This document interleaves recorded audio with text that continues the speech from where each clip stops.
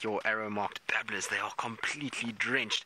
And isn't it exciting that we managed to find them? It took us a little bit of time because they weren't where we left them this morning or where Jamie left them this morning. They had moved a little bit further on and they found themselves a little thicket to lie in and get out of the rain. But it seems like some of the cubs are just woken up. Let's see, there's one of them just getting up now and going across the room. Look at that big stretch. Now, I wonder if it's going to go and try and see if it can suckle. Some of the cubs are still drinking milk from their mom, and so they go and they sometimes will go and have a little suckle. But look at that. Isn't that sweet? It's a little bit of affection between the two of them. So the little cub has gone to go greet its mom and just to reaffirm the bond between the two of them. You might find the mom will start grooming. There we go. You can see the long tongue coming out. And so the mom will lick the little cub. And there we go. It's going to go for a little drink of milk. First it's just going to groom all the water away, and then it probably will settle down right there. Isn't that cute? So, Asher, now that we're with the lions, you want to know what animals will hunt the waterbuck that we saw earlier. Well, you're looking at one of them.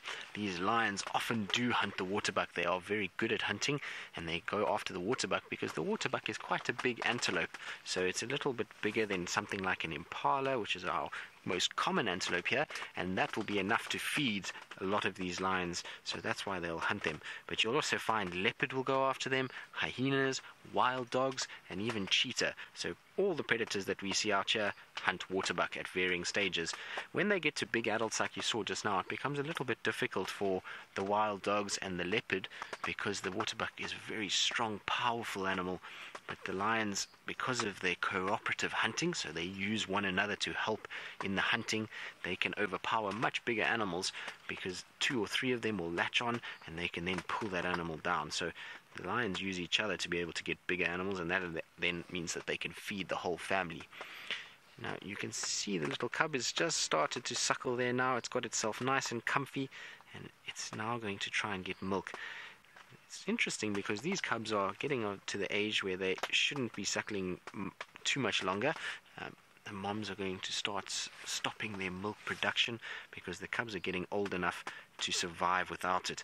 These cubs do eat meat already, but they are reliant on a bit of milk as well. So, Aya, you're asking where the male lions are. Well, Aya, in this particular region that we're in, the male lions they don't spend all their time with the females. What we find here is that we get female prides, and they then have male coalitions that come in and out and will come to protect the territory, but then they'll also come to mate and produce the cubs. And so the males that we have here, we have four males that walk around together that are with this pride at times, and they will only really be here if there's a nice food item or if they're coming to mate or if they hear the lionesses close by, then they come and investigate. But they don't spend all their time with the lionesses. Um, they tend to want to go and patrol their territory and go and check and make sure other males haven't come in, as well as to go and see if there's any other signs of food because there's a lot of competition here. So they would ultimately like to have no competition. They'll chase the females away and try and eat it. So the females don't spend too much time with the males if they can help it. It's only really if there's an intruder around, then sometimes the females will be close to the males. Or if there's a big carcass and the males find them on it, then you find the males with them. Oh, look at that yawn.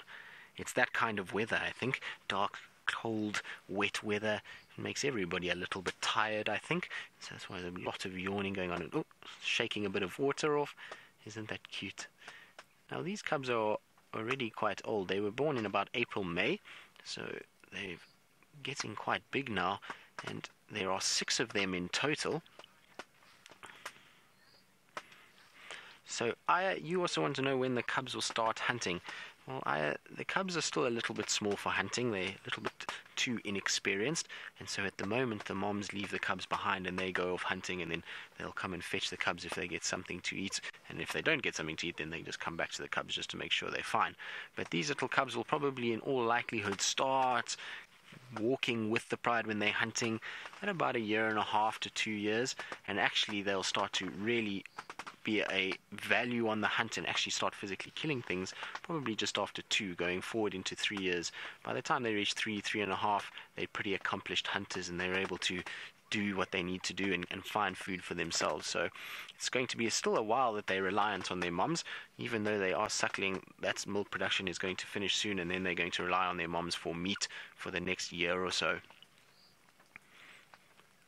And in the beginning, you'll find that the moms are going to try and teach these young ones, so they'll make the, the, little ones sit and watch, and the babies will watch how the moms move, and they learn the subtle little signs that the females have in order to communicate with each other when they're hunting. Because obviously, when they're hunting, they can't make noise because otherwise the prey animal sees them.